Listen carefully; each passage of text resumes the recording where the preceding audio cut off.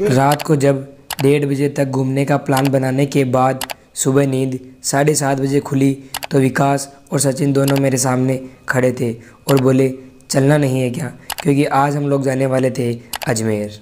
और एक घंटा बाइक पर अपना सुहाना सा सफ़र करते हुए हम पहुँच चुके थे अपनी डेस्टिनेशन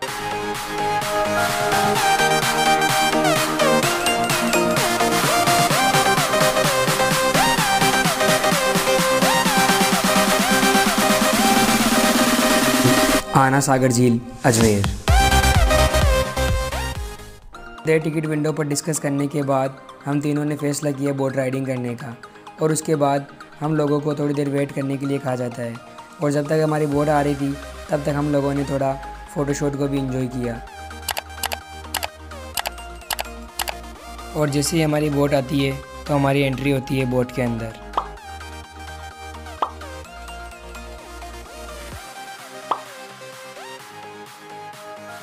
और तीनों के कॉस्ट्यूम पहनने के बाद शुरुआत होती है एक नए सफ़र की और एक शानदार इन्जॉयमेंट की।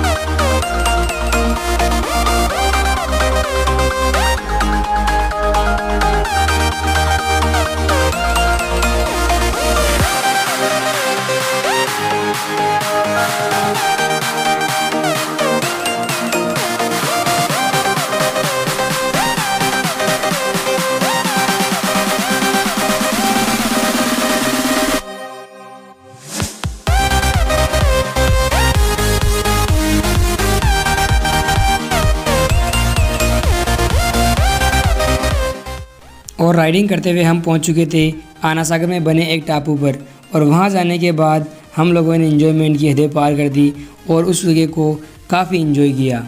आइए आप लोगों को भी दिखाती हूँ।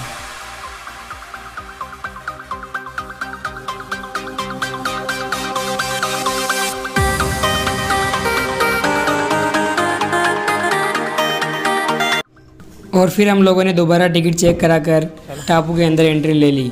और फिर जो देखने का नज़ारा था वो काफ़ी अलग अंदाज में था। आगे इसी जगह है सुकून वाली पैलेस है। यहाँ पर एक गोरेला भी है। अपना बाइक वाह भाई साहब। क्या लग रहा है? विकास का दोस्त है क्या तू? हाँ।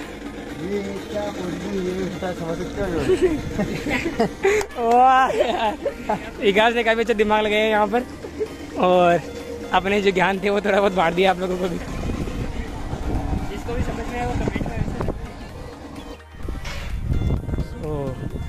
थोड़े थोड़े आगे जा रहे हैं। तुम्हारे को इतनी जल्दी किस बात की आराम से चलो ना मेरे साथ साथ? ड्रैगन आपको दिखाता हूँ डायनासोर ड्रैगन नहीं है डायनासोर है ये ड्रैगन दूसरा ड्रैगन तो आग निकालता है। ओह। देखा? वाह यार। ये जीभ दांत। इसको रखेगा स्टार्टिंग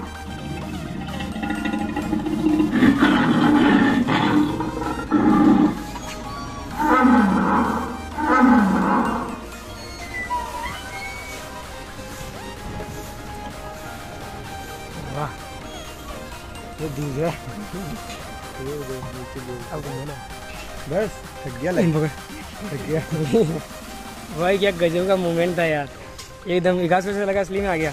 ये वहाँ से भाग के आया मैं देखा कितने चमत्कार हो गया वो होता है ना इसरो के अंदर। वो जो भाई धूप धीरे धीरे बढ़ती जा रही है मैं सोचा था टाइम पे पहुँच जाएँगे। ठीक है फिर भी। अब जा रहे हैं हम हाथी के पास। और उसको चला के देखते बोलते हैं भैया को यार इसको चला दो सही दिखाओ तो सही क्या है क्या सिस्टम है। बिल्कुल चलता है ये। पीछे घुमा के दिखाता हूँ हम लोगों को।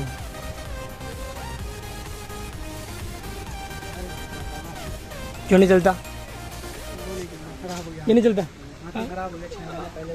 अरे यार। छह महीने पहले गए यहाँ पर आधी खराब हो चुकी छह महीने बाद आएँगे तब चले गए। गाइस यहाँ पर आती खराब हो चुका है थोड़ा मन को डिसअपॉइंटेड अरे आवाज़ आती है इसके अंदर ऊ ऊ वाली।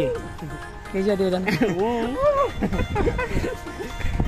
अरे यार ठीक है चलो तो चलते नहीं है बस यही बात है। थोड़ा सा आपको ऊपर से भी दिखा देता हूँ यार।